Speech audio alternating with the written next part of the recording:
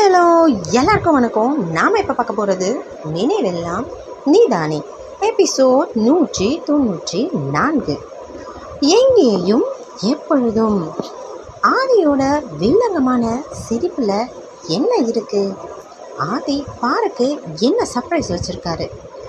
எங்கேயும் எப்பொழுதும் ரெண்டு பேரும் ஒத்துமையாக சந்தோஷமாக தான் இருப்பாங்க. இதை பற்றி நாம் எபிசோடில் போய் பார்க்கலாம். அதே நாள் அகிலாமா இல்லம் ஆதி பார்வதி ரூம் டின்னர் முடிஞ்சது. பாரு கொஞ்சம் டல்லாக ஆதி லக்கேஜ் எல்லாம் எடுத்து வச்சுக்கிட்டு இருக்கா. ஆதி ரூமுக்குள்ளே வந்து பார்வை கவனிக்கிறாரு. ஆனாலும் கவனிக்காத மாதிரி காட்டிக்கிறாரு.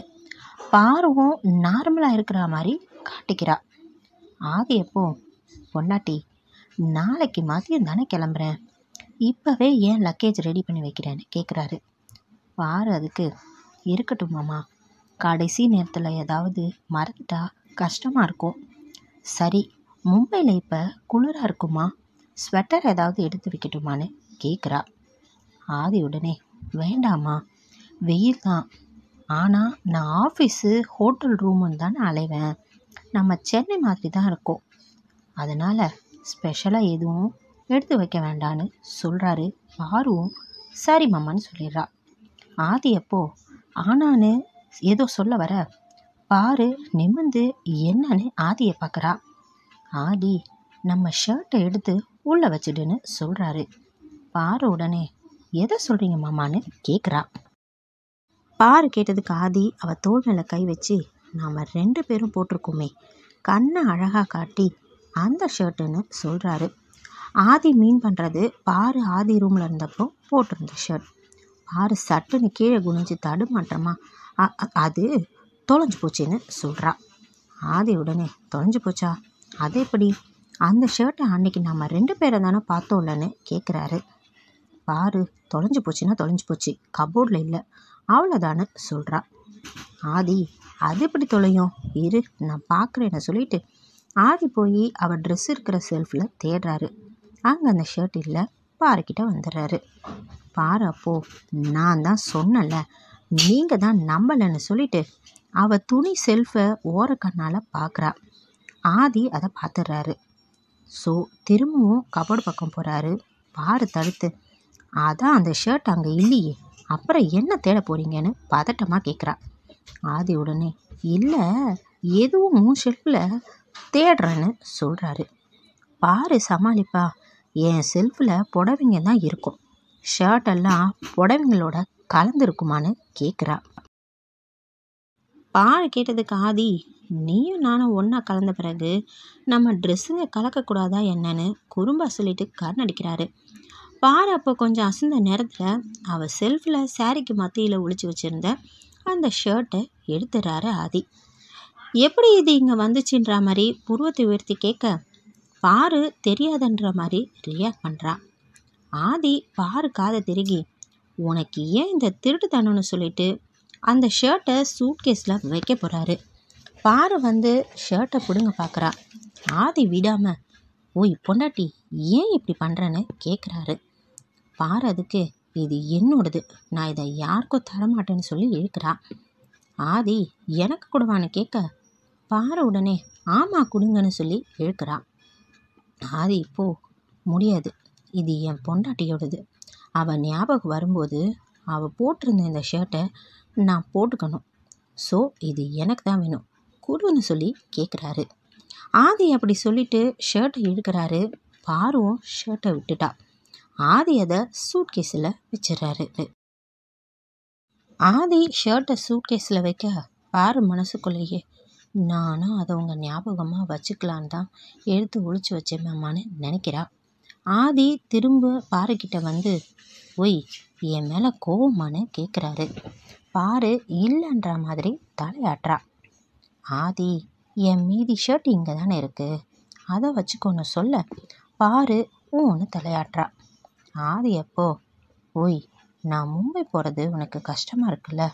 நான் வேணும்னா ட்ரிப்பை கேன்சல் பண்ணிடட்டான்னு கேட்குறாரு பாரு அதுக்கு உடனே ஏன் மாமா இதையே திரும்ப திரும்ப கேட்குறீங்க நான் சமாளிச்சுக்குவேன் மாமா.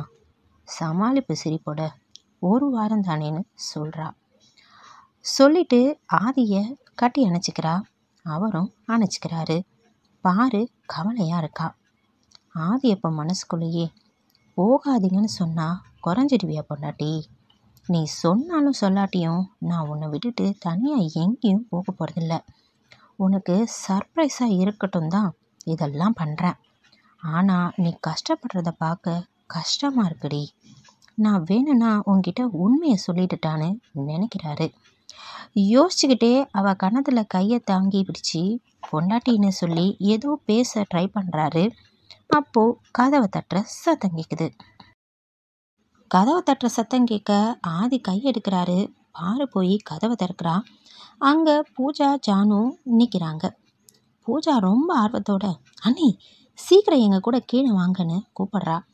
பாரு ஏன் பூஜான்னு கேட்க பூஜா அதுக்கு நீங்களே கீழே வந்து பாருங்க அண்ணின்னு சொல்லி ஜானு அக்கா நீங்கள் ப்ரோவை கூட்டிகிட்டு வாங்கன்னு சொல்லிட்டு பாரு கையை பிடிச்சு இழுத்துட்டு போகிறா பாரு ஆதியை பார்த்துக்கிட்டே பூஜா கூட போகிறா ஜானு அப்போ கையை தேய்ச்சிக்கிட்டே ஆதிக்கிட்ட போய் போகிறா ஆதி திரும்புகிறாரு ஜானு இந்த பக்கம் கொஞ்சம் திரும்புங்கன்னு மிரட்டுற மாதிரி சொல்கிறா ஆதி சமாளிப்பா இழிச்சுக்கிட்டே திரும்புகிறாரு ஜானு சீரியஸா அன்னிக்கிட்ட உண்மையை வளர்ட்டிங்களான்னு கேட்குறா ஆதி ஆமாம் இல்லைன்ற மாதிரி தலையாட்ட ஜானு சமாளிக்காமல் உண்மையை சொல்லுங்க நான் மிரட்டுறா.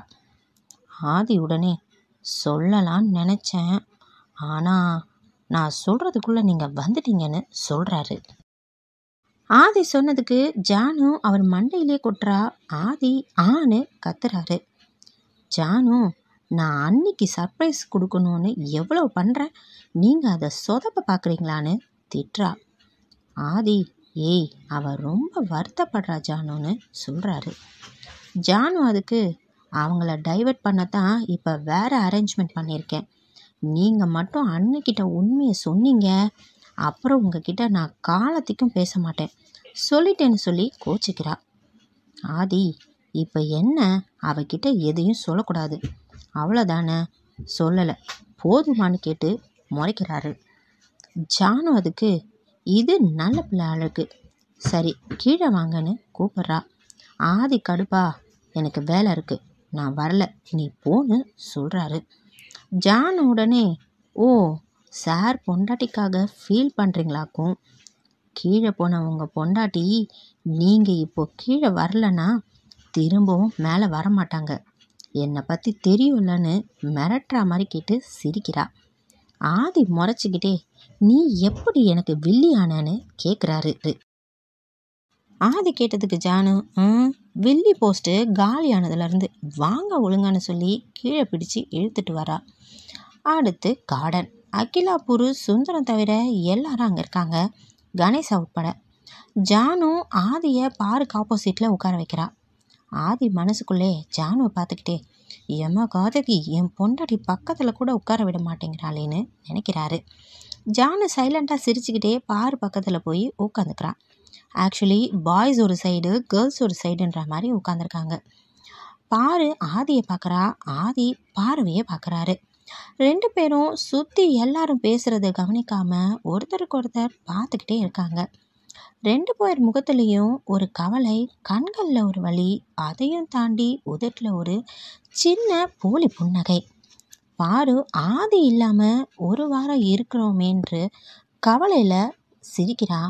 ஆதியோ அவளை தெரிஞ்சே ஃபீல் பண்ண வைக்கிறோமேன்னு ஃபீல் பண்ணுறாரு அப்போ வனஜாமா திரும்பவும் நாமெல்லாம் எப்போ இப்படி ஒன்றா இருக்கோமோ தெரியல. ஆனால் இப்போ சந்தோஷமாக இருக்குது அக்கா மாமாவும் இருந்திருந்தா நல்லா இருந்திருக்கோன்னு சொல்கிறாங்க வனஜாமா சொன்னதுக்கு ஜானு சரி விடுங்க. இப்போ எல்லாரும் ஒன்றா இருக்கோம். நாளைக்கு ஒவ்வொருத்தர் ஒரு ஒரு மூலையில் இருப்போம். ஸோ இன்னைக்கு இப்போ நம்ம ஜாலியாக இருப்போம். ஓகேவான்னு சிரிச்சுக்கிட்டே கேட்குறா அருண் அப்போ இப்போ இந்த மாநாட்டோட செயல் திட்டம் என்னன்னு தெரிஞ்சுக்கலாமான்னு கேட்குறான் பூஜா உடனே ப்ரோ இப்போ நாம் ரெண்டு டீம் கேர்ள்ஸ் ஒரு டீம் பாய்ஸ் ஒரு டீம். இப்போ நாம் ஃபஸ்ட்டு அந்தாக்ஷனி விளையாட போகிறோம் அப்புறம் தம் ஷார்டோஸ் விளையாட போகிறோன்னு சொல்கிறா தேவப்போ ஹீ ஹைட் அண்ட் சிக் மாதிரி ஏதாவது விளையாடலாமான்னு கேட்குறான் ஜான் உடனே ஹலோ தம்பி என்ன என்ன விட்டுட்டு விளையாடுற கேமாக சொல்கிற இப்போ இதான் கேம். நீங்களா நாங்களான்னு பார்த்துக்கலாமான்னு கேட்குறா அருண் கிண்டலா ஜனனி தோத்துட்டா நீ அழக்கூடாதுன்னு சிரிச்சுக்கிட்டே சொல்கிறான் ஜான் நக்கலா ஓவர் கான்ஃபிடென்ஸா? நாங்கள் தோக்க மாட்டோம். நீங்கள் விளையாடுங்கன்னு கான்ஃபிடெண்ட்டாக சொல்கிறா சரின்னு அந்தாக்ஷனி விளையாடுறாங்க. அவங்கவுங்க அவங்கவுங்க பேருக்கு பாட்டு எடுத்து விடுறாங்க. ஒரே ஃபன்னாக இருக்குது கணேசா எல்லாருக்கும் டான்ஸ் ஆடி ஆக்ஷன் பண்ணி அட்டகாசம் பண்ணுறான் இந்த கலபரத்திலும் ஆதி பாரு எந்த பாட்டும் பாடாமல் பேருக்கு சிரிச்சுக்கிட்டு ஒருத்தருக்கு ஒருத்தர் சைலண்ட்டாக அப்பப்போ லுக் விட்டுக்கிறாங்க. கொஞ்ச நேரம் விளையாடினதும் கேர்ள்ஸ் டீம் வின் பண்ணுது. ஓவராக அலப்பறை பண்ணுறாங்க அப்போது அகிலாமா புருஷ் வராங்க. எல்லாரும் சந்தோஷமாக இருக்கிறத பார்த்து சந்தோஷப்பட்டாலும் உள்ளுக்குள்ளே ஏதோ கவலையாக இருக்காங்க. அக்கிலாமா புருஷையும் விளையாட கூப்பிட்றாங்க. ஆனால் டயர்டாக இருக்குன்னு முடியாதுன்னு சொல்கிறாங்க கொஞ்சம் தூரம் நடந்து போனவங்க பின்னாடி திரும்பி பார்வையும் ஐஸ்வர்யும் ஒரு கவலையோட பார்த்துட்டு போகிறாங்க அடுத்து தம்ஷாட்டோ விளையாடுறாங்க. இதில் வாய்ஸ் வின் பண்ணுறாங்க இப்படியே டைம் ரெண்ட் ஆகுது. அப்புறம் டைம் ரொம்ப ஆகிடுச்சுன்னு எல்லாரும் கிளம்பிடுறாங்க. ஆதி பாரு ரூமுக்கு போகும்போது ஜானு ஆதிக்கிட்ட சைகையிலே உண்மையை சொல்லக்கூடாதுன்னு சொல்லிட்டு போகிறா ஆதியும் சரின்னு போகிறாரு ரூமுக்கு போனதும் தூக்கம் வருதுன்னு பெட்டில் போய் படுத்துக்கிறாரு. பாருவை பார்த்தா கண்டிப்பாக உளறிவோன்ற பயம் ஆதிக்கு. பாருக்கு தூக்கமே வரலை அமைதியாக படுத்துருக்குறாள் அடுத்த நாள் காலை பொழுது விடியுது. பாரு ஜானுக்கு சில ஸ்பெஷல் ஐட்டம் ரெடி பண்ணி பேக் பண்ணி தரா. அப்புறம் லஞ்ச் எல்லாரும் கிளம்ப ரெடி ஆகுறாங்க. பாருக்கிட்ட சொன்ன பிளான் என்னன்னா ஃபஸ்ட்டு வனஜா அம்மாவையும் ஃபேமிலியோட இன்டர்நேஷ்னல் டெர்மினலில் வழி அனுப்பிட்டு அகிலான் புருஷ டெல்லி ஃப்ளைட்டுக்கும் அருண் ஐஸ்வ பெங்களூர் ஃப்ளைட்டுக்கும் ஜானான் கோவை கோயம்புத்தூர் ஃப்ளைட்டுக்கும் லாஸ்ட்டாக ஆதிய மும்பை ஃப்ளைட்டுக்கும் வழி அனுப்ப பாரு கூட போகிறா ஆதி ஃப்ளைட்டுக்கு வழி அனுப்ப பாரு போகிறா பாருவை ஷாம் திரும்ப வீட்டில் ட்ராப் பண்ணிடுவார்.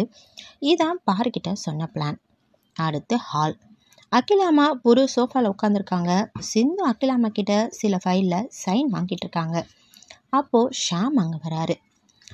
ஷாமை பார்த்த புருஷ் ஷாம் உன்னையும் சிந்துவையும் நம்பி தான் நாங்கள் கிளம்புறோம். ஏதாவது ப்ராப்ளம்னா முதல்ல எங்களை காண்டாக்ட் பண்ணுங்கள் முடியலனா அருணுக்கு கால் பண்ணுங்கள் வேறு வழி இல்லைனா மட்டும் ஆதிக்கு கால் பண்ணணும். அவனை டிஸ்டர்ப் பண்ணாமல் பார்த்துக்கோங்க ரெண்டு பேருக்கும் புரியும்னு நினைக்கிறேன்னு சிரிச்சுக்கிட்டே கேட்குறாரு ஷாம் உடனே புரியுது அங்கிள்னு சொல்கிறாரு அப்போ எல்லாரும் லக்கேஜ் எடுத்துகிட்டு கீழே வராங்க. எல்லார் முகமும் பிரைட்டாக இருக்குது ஆதி பார்வை தவிர. இதை பார்த்த வசுமா ஜானு காதிக்கிட்டே ஏய் ரெண்டு பேரையும் பார்க்க கஷ்டமாக இருக்குது உண்மையை சொல்லிடலாமான்னு கேட்குறாங்க ஜானு முறைச்சிக்கிட்டே இவ்வளோ நேரம் பொறுத்துக்கிட்டீங்க. இன்னும் கொஞ்சம் நேரம் தானம்மான்னு சொல்கிறா வசுமா மனசு இல்லாமல் சரின்னு சொல்கிறாங்க எல்லாரும் ஏர்போர்ட்டுக்கு கிளம்புறாங்க. ஆதி ஃப்ளைட்டுக்கு வழி அனுப்ப பாரு போகிறா பாருவை ஷாம் திரும்ப வீட்டில் ட்ராப் பண்ணிடுவார். இதான் பாருக்கிட்ட சொன்ன பிளான் அடுத்து ஹால் அகிலாமா புரு சோஃபாவில் உட்காந்துருக்காங்க சிந்து அகிலாமா கிட்ட சில ஃபைலில் சைன் வாங்கிட்டு இருக்காங்க. அப்போது ஷாம் அங்கே வராரு. ஷாமை பார்த்த புருஷ் ஷாம் உன்னையும் சிந்துவையும் நம்பி தான் நாங்கள் கிளம்புறோம். ஏதாவது ப்ராப்ளம்னா முதல்ல எங்களை காண்டாக்ட் பண்ணுங்கள் முடியலனா அருணுக்கு கால் பண்ணுங்கள் வேறு வழி இல்லைனா மட்டும் ஆதிக்கு கால் பண்ணணும்.